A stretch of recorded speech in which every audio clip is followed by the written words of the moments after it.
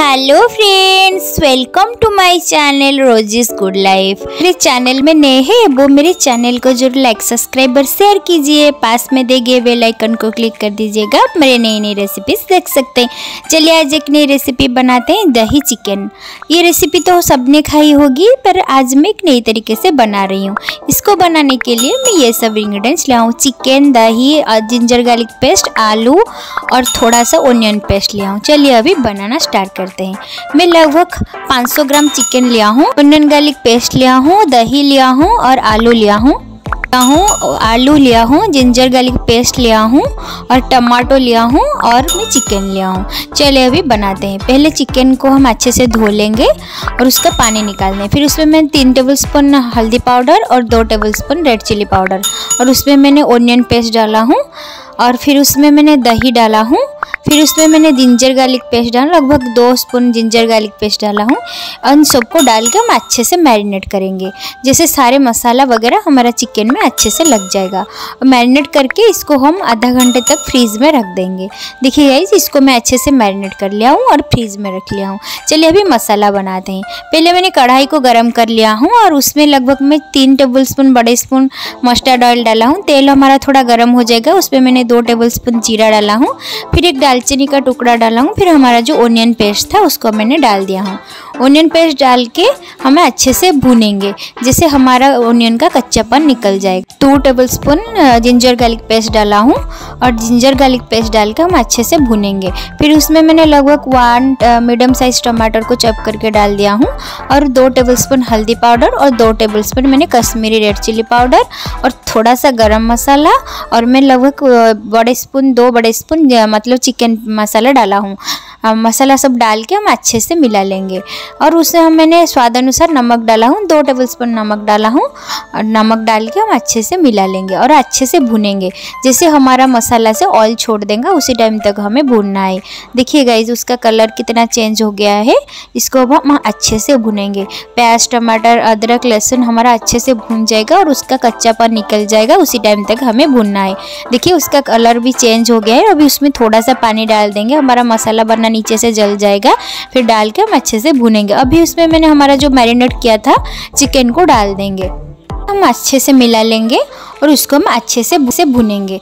जैसे हमारा चिकन अच्छे से पक जाएगा और मीडियम फ्लेम में ही अच्छे से कुक करेंगे। जैसे हमारा मसाला से तेल छोड़ देगा, उसी टाइम तक हमें अच्छे से भुनना है। गई इस वीडियो अगर पसंद आए तो चैनल को ज़रूर लाइक सब्सक्राइब और शेयर कीजिए। और अपने फ्रेंड्स और फैमिली मेंबर्स में भी शेयर कीजिए। देखिए, अभी हमारा चिकन थोड़ा सा कुक हो गया है और अब उसमें हम आलू को डाल देंगे। मैंने लगभग तीन मीडियम साइज़ आलू लिया था, उसको छिलका निकाल के हम उसको अच्छे से धो के डाल दिया हूँ। देखिए, आलू को डाल के हम अच्छे से मिला लेंगे। गाइज़ आप तो हर टाइप का चिकन रेसिपी खाते होगे, पर ये आज मैं थोड़ा सा नए तरीके से बना रही हूँ। इस रेसिपी को आप घर में ज़रूर ट्राई कीजिएगा। कैसा लगा मुझे कमेंट बॉक्स मतलब बताइएगा। देखिए, अभी मैं उसको ढक्कन लगा के लो मीडियम फ्लेम से कुक कर लिया हूँ। मतलब पाँच से दस मिनट तक इसको अच्छे से कुक किया हूँ। देखिए गाइज़ उसका कलर बिल्कुल चेंज हो गया है और मसाला से ऑयल छोड़ना स्टार्ट कर दिया है। देखिए गाइज़ कलर कितना अच्छा आया है। अभी हम और उसको अच्छे से भुनेंगे। और उसमें, अभी उसमें मैंने वन टेबल स्पून घी डाला हूँ। दही चिकन रेसिपी में अगर आप थोड़ा सा घी डालोगे तो उसका टेस्ट बहुत अच्छा लगता है। मैंने घी डाल के अच्छे से मिला लिया हूँ। देखिए और अभी हमें और उसको अच्छे से कुक करेंगे। और हमें टेन टू फिफ्टीन मिनट्स तक कुक करना है। देखिए हमें हमारा आलू चिकन थोड़ा सा कुक पक जाएगा, उसी टाइम तक हमें अच्छे से कुक करना है। देखिए गाइज़ उसका कलर कितना अच्छा आया है, बिल्कुल रेडिश कलर आया है और उसका टेस्ट भी बहुत अच्छा लगता है। इस रेसिपी को आप रोटी, पराठा नान राइस सब, सबके साथ खा सकते हो, खाने में बहुत टेस्टी लगता है। देखिए गाइज़ इसको अभी हम और थोड़ी देर कुक करेंगे। अभी मैं ढक्कन लगा लिया हूँ और और मैं हमें पाँच से आठ मिनट तक और कुक करेंगे। देखिए गई रेसिपी को ज़रूर ट्राई कीजिएगा और कैसा लगा मुझे कमेंट बॉक्स में ज़रूर बताइएगा। देखिए, उसका कलर कितना चेंज हो गया है। ये रेसिपी खाने में बहुत टेस्टी लगता है। देखिए गई हमारा चिकन और आलू अच्छे से पक गया है और ये रेसिपी बन के रेडी हो गया है। देखिएगा इस कितना अच्छा कलर आया है और खाने में बहुत टेस्टी लगता है ये रेसिपी देखिए गाइज़ उसका कलर देखिए। और हम भी, हम गैस का फ्लेम बंद कर लेंगे और अभी मैंने उसमें थोड़ा सा मतलब दालचीनी का पाउडर डाल दिया हूँ और मतलब मैंने लगभग वन स्पून दालचीनी पाउडर डाला हूँ और थोड़ा सा हम गरम मसाला डाल देंगे। डाल के गैस का फ्लेम बंद कर लेंगे। देखिए अभी हमारा सुपर टेस्टी दही चिकन आलू करी रेसिपी बन के रेडी हो गया है। देखिए गई उसका कलर देखिए।